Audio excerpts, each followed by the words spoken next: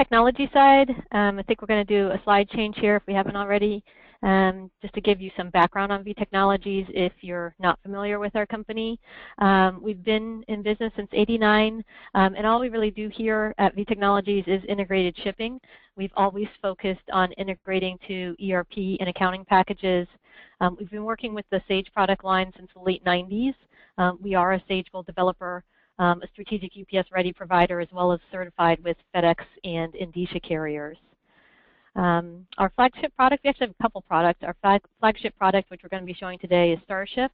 Um, we also have and develop a ShipGear solution, which is a middleware piece that works between the carrier supplied systems like UPS WorldShip, FedEx Ship Manager, um, Endicia Professional, um, and integrates that with Sage 100. Um, we here at VTech, we've actually made the APS switch and can't say enough about the savings that we've seen since we've made the switch, um, not only from you know a hard cost standpoint with the, the level three processing that we're able to attain with APS, but also from the efficiencies that we've been able to gain with the integration to our orders. So I'm going to pass it over to Patty so she can give you a little more information on APS. Thank you, Caroline, and, and thank you, Adrian. Um, everyone, good afternoon. We really appreciate that you're giving us this hour of your time. We know how extremely busy everyone can be. And um, I'd just like to tell you a little bit about American Payment Solutions. My name is Patty Benitez, and I am Channel Sales Executive. I basically work with the Sage Channel partners. We do have a new team member, Trisha Hardigan, who will be focusing on partners in other ERP space in the other ERP space, uh, such as NetSuite, um, Acumatica, QuickBooks, etc. Uh, we've been in business well over 10 years. We're headquartered in Mesa, Arizona, with partners, merchants, and sales representatives nationwide. We've been in business, as I mentioned, uh, well over a decade. Uh, David Ford, our CEO, was one of the founders of Sage Payment Solutions. He created American Payment Solutions about eight years ago and built the Sage 100 integration as of version 4.4. We have thousands of merchants nationwide, hundreds of ERP integrations and merchant accounts, and we have over 250 plus software and shopping cart integrations. Um, during today's presentation, we, we're going to be discussing how we can take advantage of Starship's shipping address validation, zip code validation, and how with that we can pre-qualify or help qualify, I should say, for level three processing, which basically offers you much lower rates coming from Visa and MasterCard. And with that, I'm going to go ahead and turn it back over to you, Caroline. Thanks, Patty. So um, this is just a little overview. We wanted to let you know um, and what to expect as far as the demo goes so you can uh, maybe understand a little bit before we start. Um, so what we're going to show you today is um, starting from entering a sales order and um, highlighting the Starship um, rate shopping from within sales order and that feature. And that's really going to allow you to quote freight up front so that you can then use those freight charges when you pre-auth your order with APS. And then we're going to show you shipping the order that we've created, um, creating the invoice, and then Patty will show you the final um, APS transaction that will happen from a credit card processing standpoint. So uh, we didn't want to go over into too much detail here. We won't really spend most of our time in the demo itself. So we'll um, flow you right into Sage Sales Order Entry from here.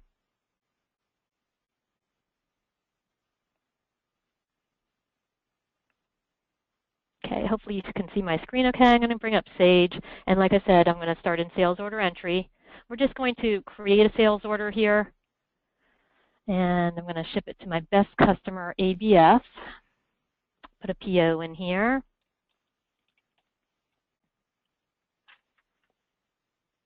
Um, so this is going to be um, sent to the ship to address here, 3121 North 24th Street. And let's pick a couple of items that they are ordering from us. Now, once we're in sales order entry, this is um, a, newer feature. It's probably been out for a couple years now. But um, standard with the Starship um, license that you have um, is the this rate quote function Um, once you install it, it basically gives you access to the Starship rating engine from within sales order. So let me log in here. This does support multiple locations, um, similar to you logging into the Starship client if you are a Starship user, um, except it's going to give your front office team um, access to uh, the server on the back end. So here um, you'll notice that uh, all the information is passed over. We have um, the sender address, which is the ABC um, distribution services. the carrier and service have all been translated from the ship via Here's my ship to, that 3121 North.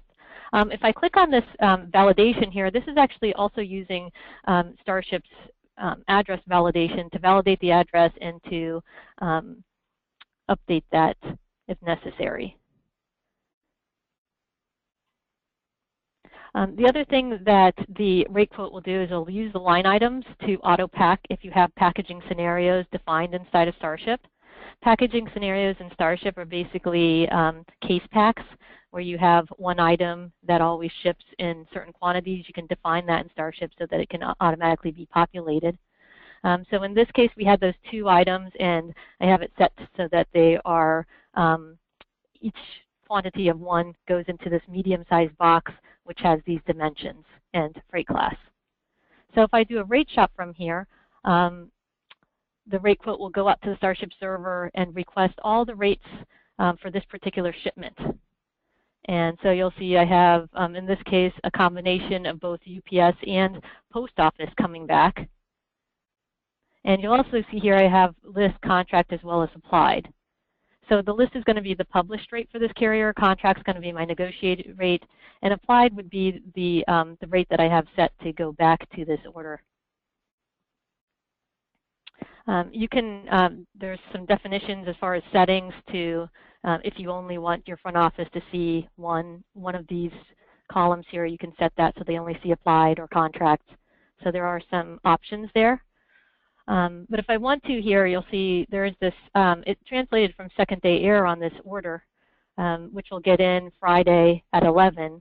But I could also ship it actually UPS ground, get it there at the same time, and save quite a bit of money. So I'm going to select UPS ground in this case. Um, and you'll see here on my charges summary that um, it's going to be 3004. So I'm basically updating this order with the published rate. So I'm going to apply this, and you'll see um, there's a little dialog here. You can have this either prompt you or not prompt you. There's some settings around this too. Um, and in this case, I'm going to define what that reverse translation is. So for this um, carrier UPS and the service UPS ground, um, I want that to update my ship via for this order to UPS ground. And once I've made this definition, it's actually going to automatically um, set that all the time. And so now you'll notice that if I go to this totals tabs here, that the freight charge has been updated with the amount.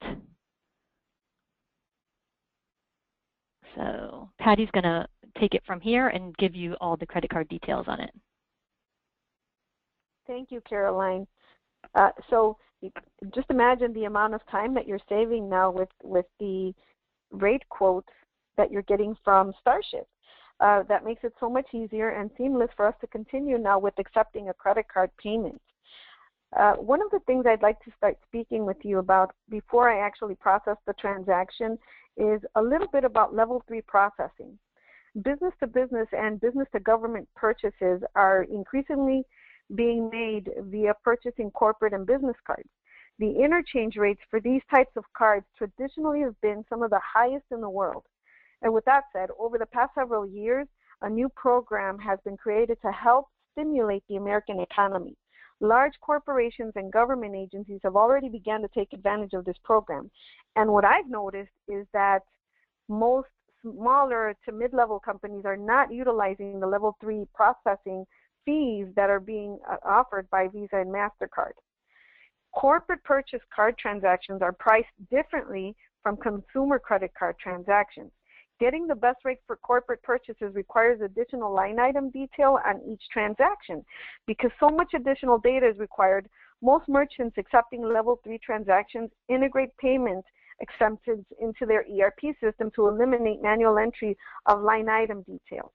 We at American Payment Solutions have already integrated our Level 3 gateway into Sage 100, which gives you um, Level 3 processing available and automated where you don't have to fill in the required fields, which typically are about 13 to 14 required fields from Visa and MasterCard. One of those fields is the ship to zip code.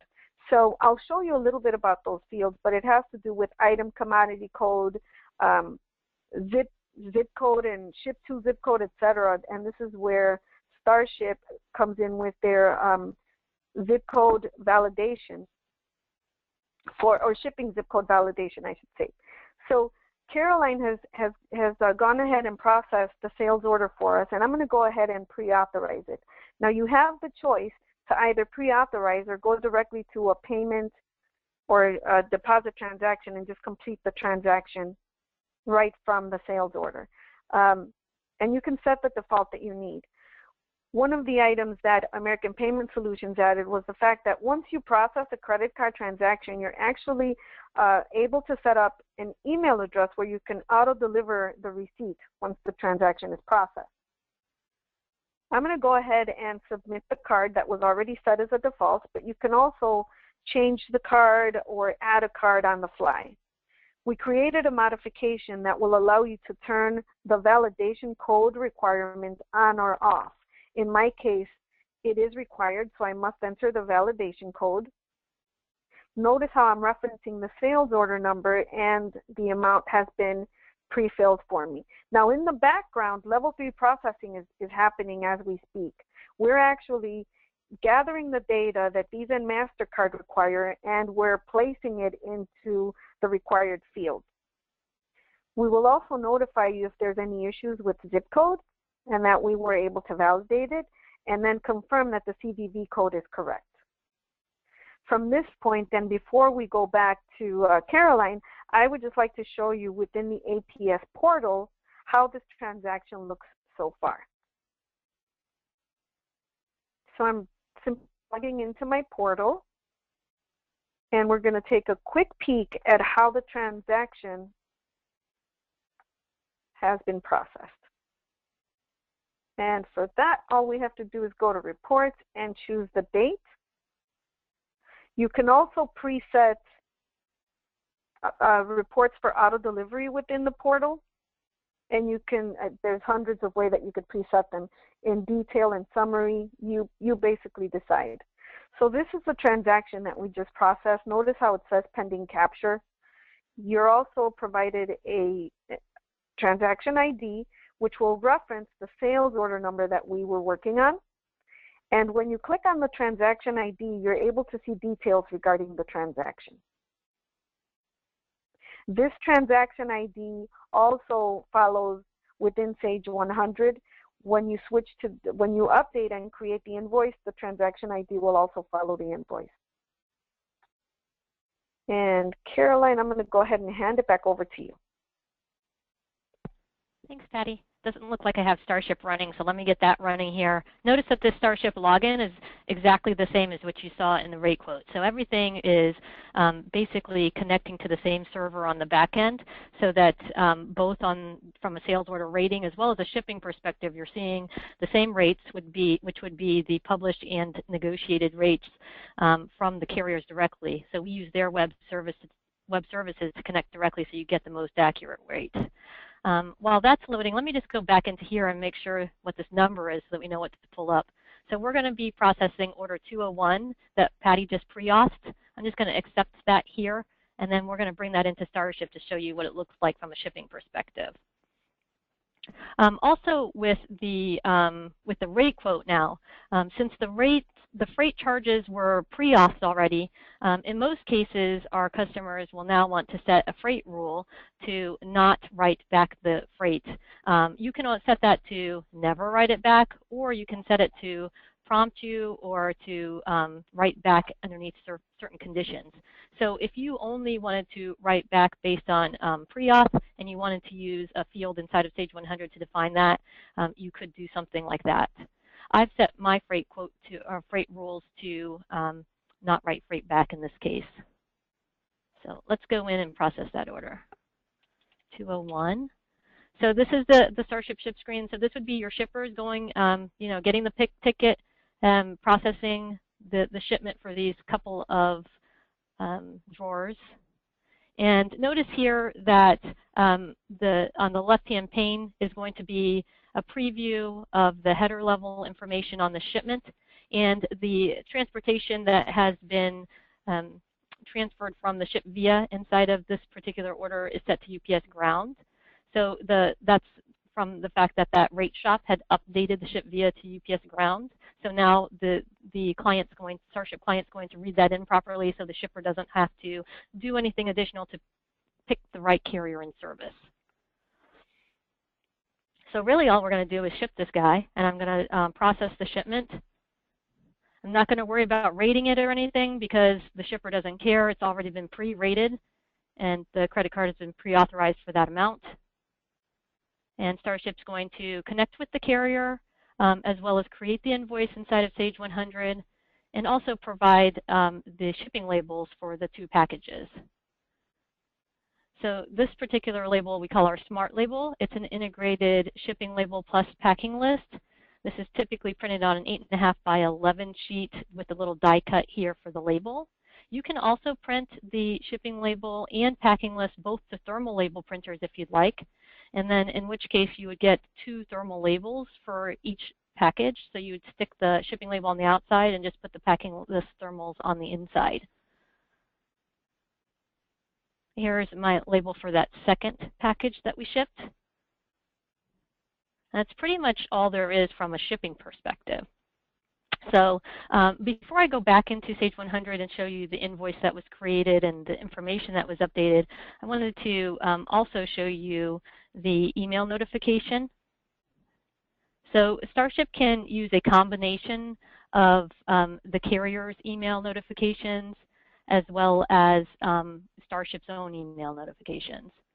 So um, if you use Starship's email notifications, you get a host of um, other additional features. Um, one being you can you know, um, have total control over the look and feel of the email. So in this case, um, I added a little logo here. I've added fields that are Sage 100 specific, so like PO number, which might be important to your customer. And then they also get all the item and tracking level detail. So not only do they see the boxes that were shipped, they also can see the items. If you've defined the items in boxes, you can make it look like this. Um, you don't have to define this. If you don't define it, then you could put a maybe a list of tracking numbers and then a separate list of the items that were included in the shipment. Other things our customers like to do is send them back to their shopping carts, um, give maybe special promos within the email itself.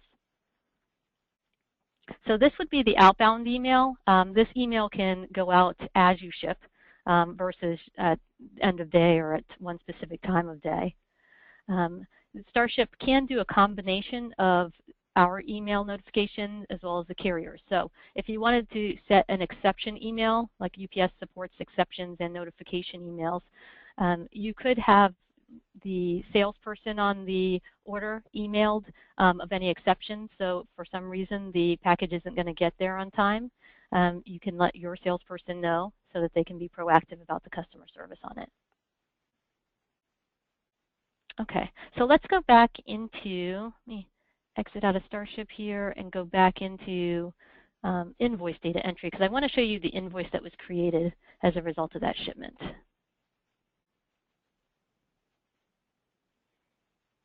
So I'm just going to click on the last button here to bring up that last, and it's going to um, give me a little note that there has been a pre-auth transaction. So that was the transaction that Patty did earlier.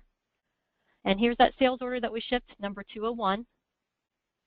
So Starship automatically created the invoice for this. Um, it also updated the tracking information here. So it gave you the carrier, the tracking numbers, weight,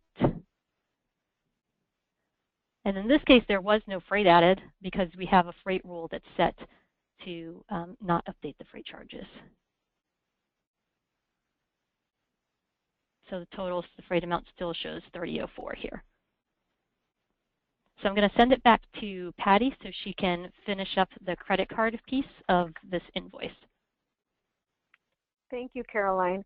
So imagine this is perfect. You get the tracking information for your internal use and you're aware of where your package is going. At the same time, you have the rate, the freight amount already preset for you. Um, by the way, if there are any changes, if there's uh, anything that you uh, overlooked, you are able to change the freight amount at this point, even though the credit card has been pre-authorized. And speaking of pre-authorizations, American Payment Solutions offers a 30 that you hold a pre-authorization for 30 days. So you can go from 7 to 30 and you decide uh, how, how long you'd like this pre-authorization to be. Um, I'm going to go ahead and jump into the credit card tab and just finalize the transaction. At this point is is uh, very basic Sage functionality. I'm going to go ahead and print and then update. As we all know, the update process takes a minute. So um, I'm going to go ahead and tell you a little bit about what to expect with American Payment Solutions while we're updating. And um, since I know it's going to take a while, we're also going to be able to talk with Caroline a little bit more about how she feels about APS and how her processing um, has has changed since the switch. Uh, one of the things I'd like to mention is that with American Payment Solutions, there are no module installation, implementation, or setup fees. It's all included as part of our services. There are no maintenance fees either. We provide data migration from uh, most ERP systems. Uh, just let us know what ERP system you have and we'll be happy to help. Um, we do not charge for PC for assistance with PCI compliance. We provide next day funding, which for some cases could be 12 hour funding. Uh, if you're located on the East Coast, for example, and you batch out by 8:45 p.m., you will have funds in your bank by 9 a.m. the next morning. I also explained a little bit about level three processing. This is one of the most important reasons many merchants switch over to American Payment Solutions. Simply by turning on level three processing, you are guaranteed to receive lower rates from America, from uh, Visa and Mastercard. So keep that in mind. We'd be happy to provide you with a free analysis uh, of your current merchant uh, rates and um, you'll you'll see immediately that we'll be able to provide you with the savings. We also provide 24/7 customer support, um, and we have an A plus rating with the Better Business Bureau. We guarantee our rates in writing for life. We have never increased the rates to any one of our merchants and don't plan to do either.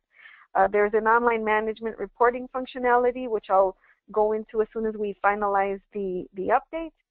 And the one thing I'd like to also mention is APS will pay the cancellation fees for most of our competitors. So if you're not happy with your current processor, or if you simply want to compare rates and keep that processor on, on their toes, let us know and we'll be happy to provide you with the free merchant analysis. And not only that, but also um, we guarantee that we will beat or match any competitor's rates or we will pay you $500. So let's jump into the portal really quick and see what happened with our transaction. Notice how the transaction is approved and you'll see the amounts are, are in the system for us and they're updated.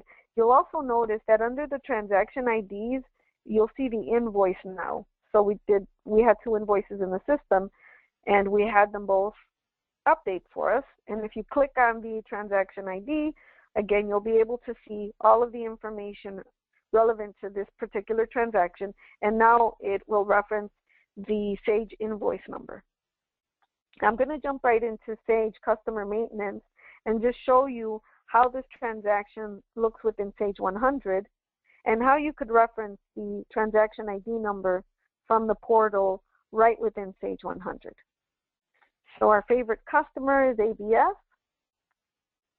Here is our invoices, and I believe it was 135 and 136.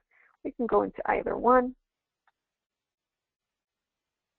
And now in the credit card area within customer AR invoice history inquiry, you'll see that the transaction ID from our portal will be populated in the tra transaction ID field within Sage 100 credit card information. Very well. So this is how you have a seamless integration where you're able to use Starship along with credit card processing from American Payment Solutions, and you don't even feel like you stepped out of Sage 100 at all. Uh, Caroline, is there anything that you would like to add? I don't think so, Patty. I think you covered it. well, Adrian. right now, yeah, Adrian would be a good time if you have any questions. I'm going to pass okay, it back to Adrian. She's going to go over um, any Q&A um, that we've received from along the way. Perfect. So while Adrian is uh, getting back, getting the questions sorry, you ready. Guys, sorry, you guys. Oh, That's okay. I'm here. I was trying to do everything from the other computer, but I wasn't able to unmute myself from over there. So I apologize. I'm here, and I would like to launch our first poll. And uh, oh, Caroline, are you taking back control from me? Sorry.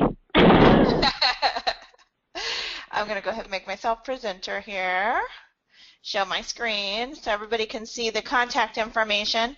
Um, I'm going to launch our first poll, and I just want to remind the audience that if you do have any questions, please go ahead and click on that question mark button next to your name on the webinar pane, and I will announce your questions for both Patty and Caroline. If you could just take a moment, are you interested in learning more about credit card processing? If you could take a second just to answer that uh, question, and that will um, indicate to Patty that she should follow up with you on the phone and talk with you a little bit more. And let's look over at the questions here. Any cost for the 24 by 7 customer support are the costs per case? Thank you, Ken. Um, as far as American Payment Solutions, if that question was for me, no, there there is no cost whatsoever.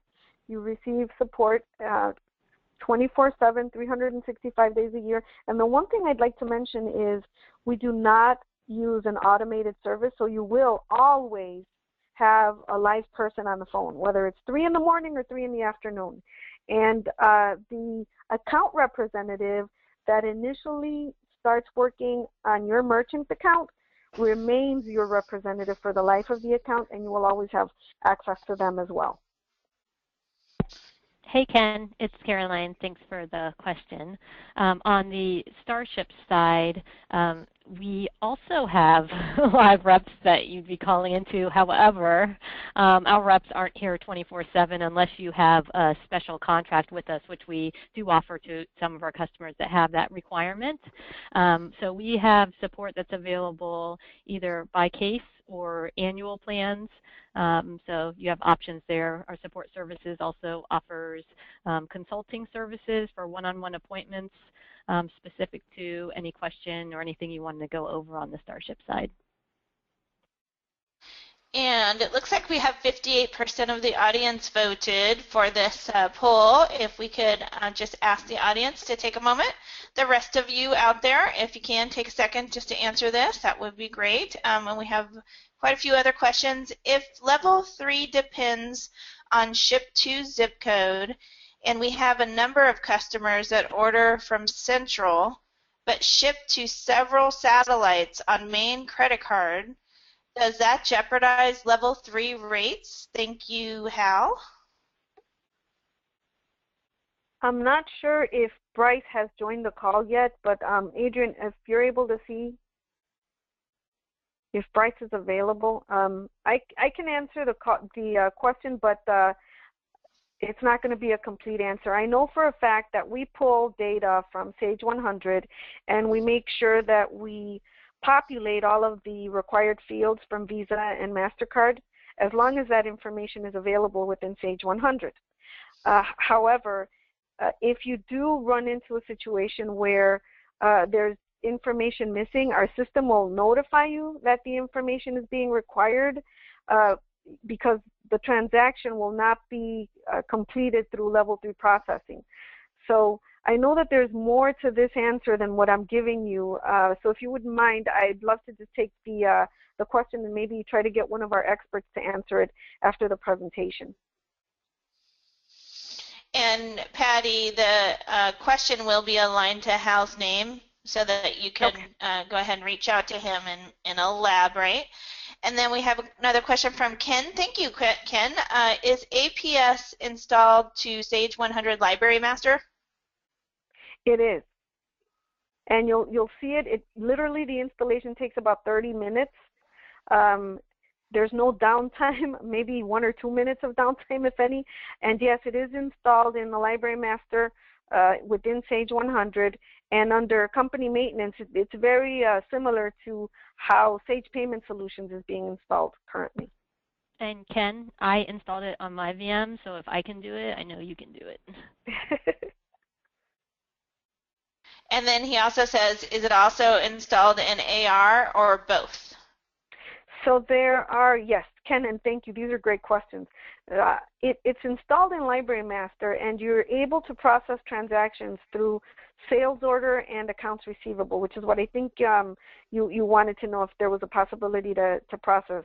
So you're able to process through sales order entry, sales order invoice data entry, sales order shipping data entry, and then you're also able to process within accounts receivable cash receipts. And I'm not seeing any more questions yet, but if you do have a question, please uh, click on that question mark button and indicate your question in the text dialog box that opens up.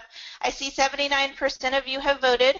I'm going to close out this poll and I'm going to share another poll. If you could take a moment to answer this poll. Are you interested in learning more about shipping automation? If you could just take a second, and then this will uh, notify Caroline that you are looking for a follow-up phone call to learn a little bit more about how Starship can help automate your processes.